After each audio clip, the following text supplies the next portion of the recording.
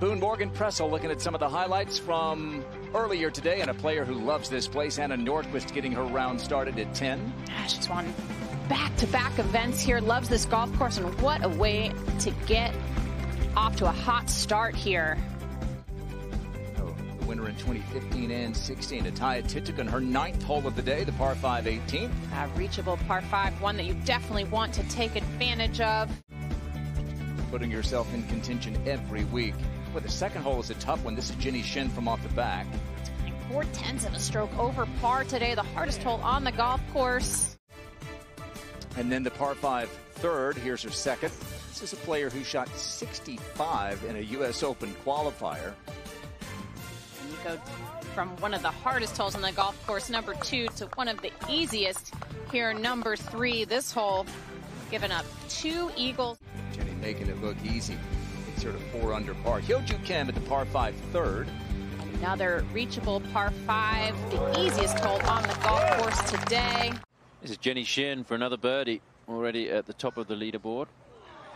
Oh, wow, that turned like crazy. It was like playing mini golf. A little early in the day, Tom, for the Poa annua to be moving the ball a little more than a half shot over par, but it is the scoring conditions are about as good as you can get out here this morning. Reto missing out at the 15th, which can be a very difficult par three when the wind blows. This is the shortest golf course on the LPGA Tour. This is the fourth and a par putt for Thitikul. Karen Stupples is there. The second shot was just a little bit short. You can see that uh, nothing is uh, is given out here in, uh, on these greens. Her second shot went a little bit long, but she decided to putt it from off the back edge of the green to here. This hole playing downwind today, and the wind has just started to pick up out here. It was fairly quiet first thing this morning. Winner already this year, remember at Palos Verdes back in uh, April. Requires a lot of precision. That shot just inside 100 yards.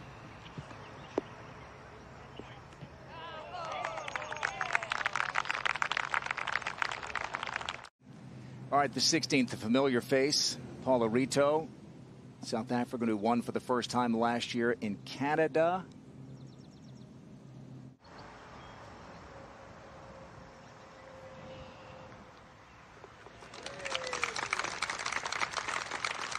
she's done just about everything but win.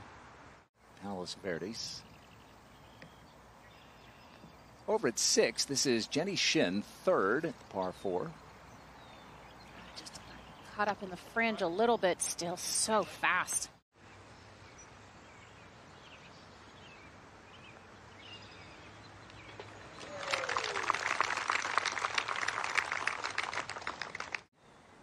Struggled a bit since to the fifth. Thitikul's second. And that was just from 61 yards, Tom. Yeah, delicate little shot. She played it so well. Averages are, are much higher than usual.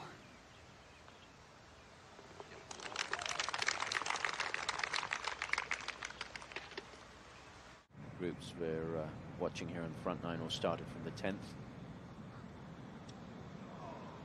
And that one just leaking to the left. So we'll see these groups finish up and then we'll get a little bit of action from the afternoon wave of players as well in the second half of our coverage here. The 35th playing of the ShopRite LPGA Classic. This is Aditi Ashok for the par here at five. This would complete the up and down, having made a mistake with her second shot, you have to say. Short hole. Race to the CME Globe from Aditi Ashok over to Paula Reto on the tee at the 17th. Flag in the middle of this green today, getting that one to dance a bit. Back over to five, and Nordqvist with her second. Yeah, just a little uh, Little lob wedge, 78 yards to the hole. Managing that ridge fairly well. Yeah, nicely done there. Mental thing that can happen to some golfers. It's really unexplainable. Peiyun Chien from Chinese Taipei is at the sixth. Walk it in. Peiyun narrowly missed a playoff. Shorty par 314 yards, 17th, and that's a two for Paula Reto. Really good opportunity here. Uphill, slight right to left break.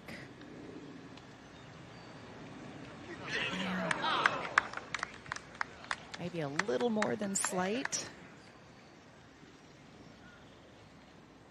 There's a close association uh, with the ShopRite LPGA Classic K. They gave her a sponsor invite back in 2015, so it's been a long.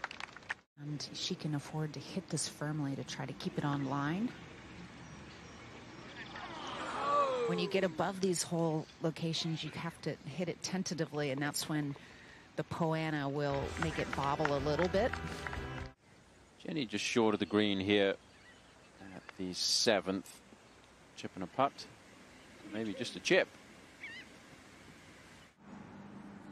Mentioned there, KPMG Women's PGA. I believe that'll be the 97th consecutive major championship for Angela Stanford. She wants to get to 100 in a row.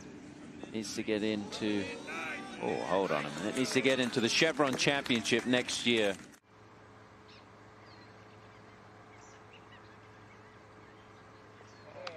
Yeah, good up and down in the end for Jenny.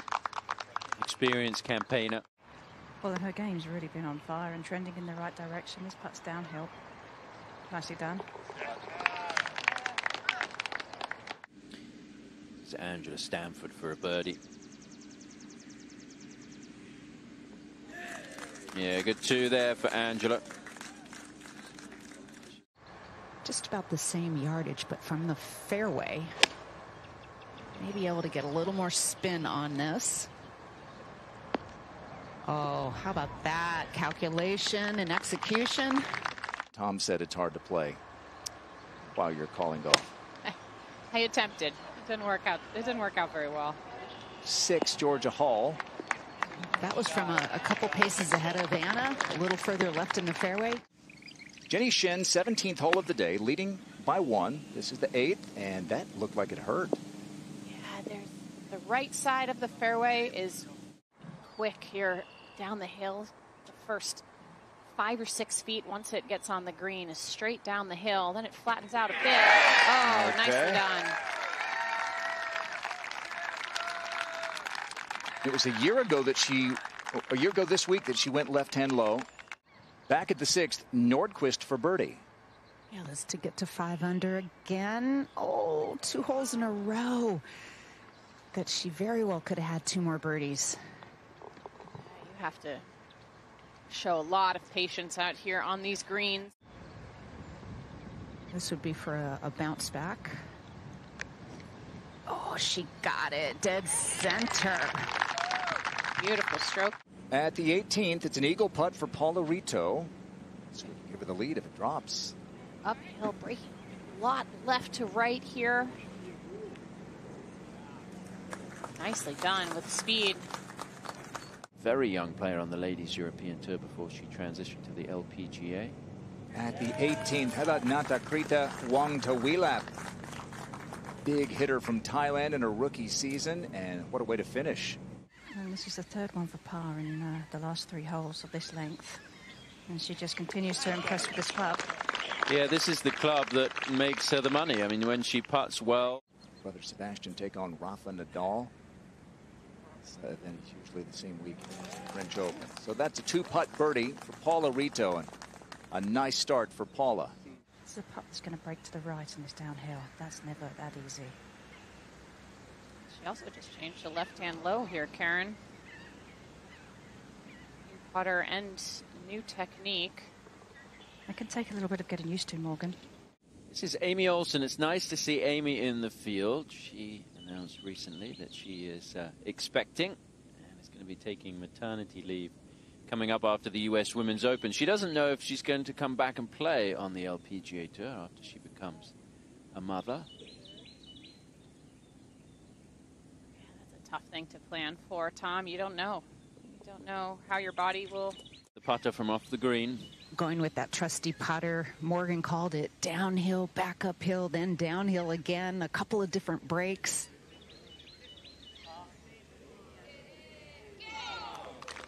Great touch.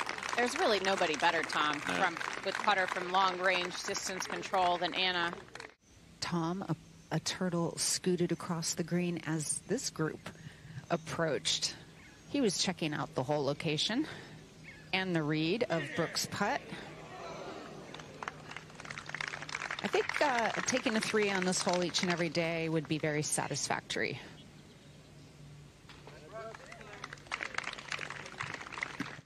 Now this putt to avoid another bogey as it has been an up and down day.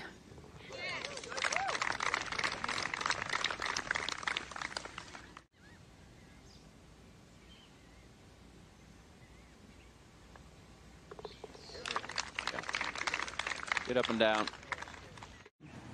I think it's golf. this high risk of a shot, Karen? I, I mean, that's well played. I can't argue with the result there. Wow. Just beautifully really done. well done. Yeah. Great imagination there.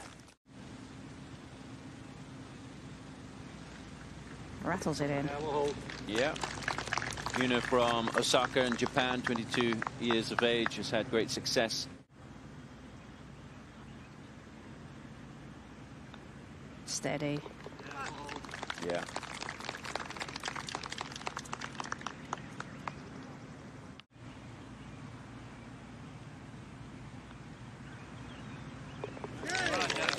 Yeah, nicely done.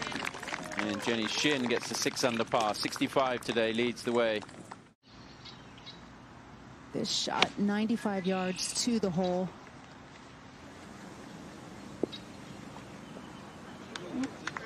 Well, that that's some course knowledge there. Up to the 18th and an eagle putt for Sophia Schubert. It has been a real struggle for Sophia. She hasn't made a cut this year. Oh! And that's going to be her first round in the 60s since Singapore in early March. She did make it to the weekend Bank of Hope PGA match play, and who knows if just that different format might spur something on in a great match play player. Georgia Hall consistently inside the top 10. Let's see if she can do something here on the par 5. Yeah, coming in with that long iron. It, it should be her four iron. 192 to the front, hoping to skitter it up there. Oh, great shot, Kay. Really good. One of the best we've seen so far today. And a good look at an eagle for Georgia Hall. Take you to the 10th and the first hole of the day and the first event in well over a year for Austin Ernst battling an injury and welcome back Austin. Here's the Solheim Cup legend Anna Nordqvist at the 8th. Tricky double breaker on the speedy side.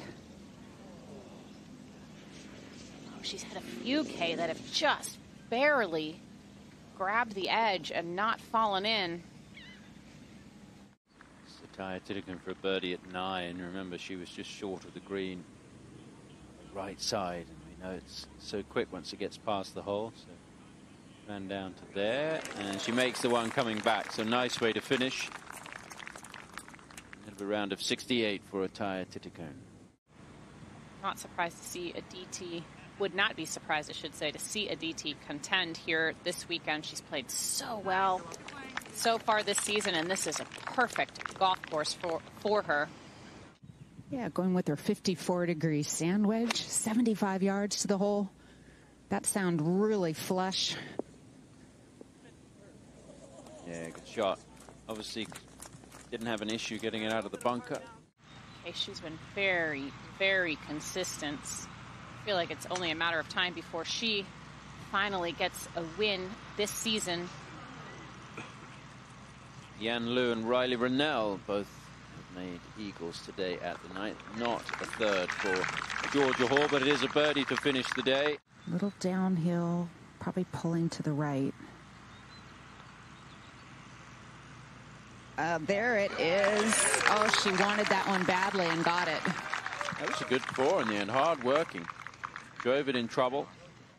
I feel like it could have been a lot better. This is the tee at the par 3 11th. Jodi Ewart Shadoff. And there's a six iron underway, Tom. Got to land it short and let it hop up.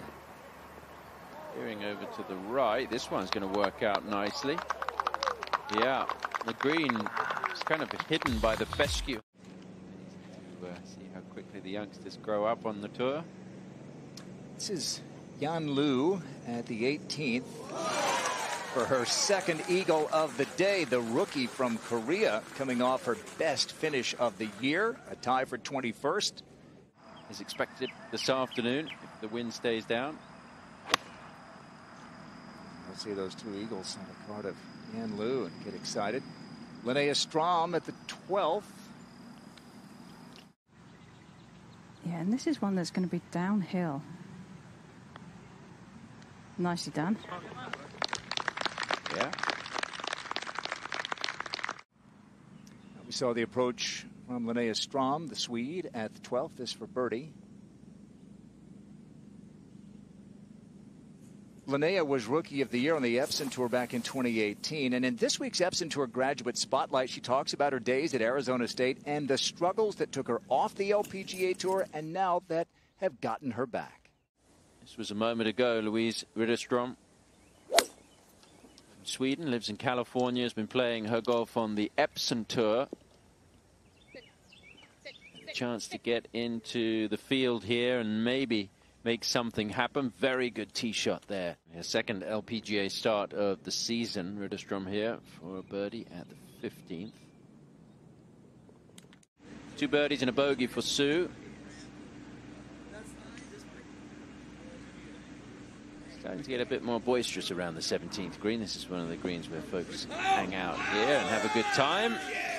Yeah, there they are. Make a lot of sense to me. I think it'd be nice to have that that storyline. Here's Furue at the 12th. 10 paces ahead from where Paula just hit. Similar result. He's going to leave five, leave five for a birdie from the back of the green.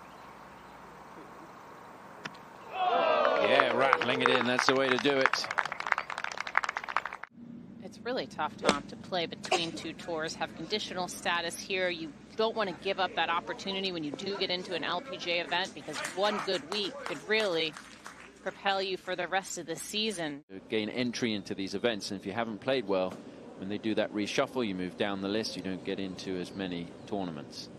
At the 14th, last year's runner-up in the playoff to Brooke Henderson, Lindsey Weaver Wright. At the 12th, Ayaka Furue for another birdie. Yeah, to quickly get to minus two.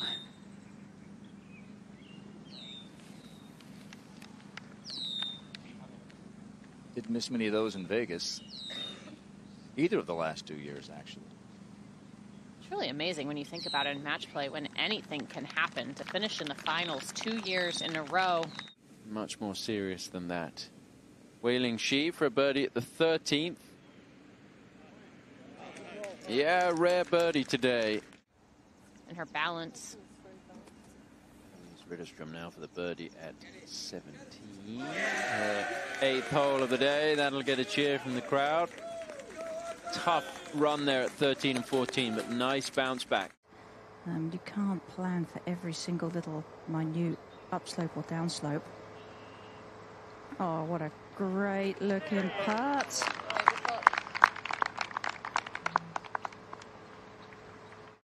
Was in the mix last week at the Mizuho Americas Open, continuing this very good rookie season. I was trying to think, Tom, when is she not when has she not been in contention this year? It feels like she's been putting herself consistently. Stacy Lewis. This one's going to be on a nice line. Yeah, playing it with the wind. Mm-hmm. The best of the bunch. Good shot. On that 15th, that can be really frustrating. Here is Linnea Strom at 16. Just trying to land something right on the very, very front edge. It's so interesting that she played golf with her eyes closed. Yeah. It's amazing. that It took so long. Oh. I don't know how that didn't break into the hole. That was a good looking roll, almost like it held up off the backside of that bunker just a fraction as it got closer to the hole. The 16th and that 17th. This is Strom for birdie. if you're one of the 10 Epson graduates,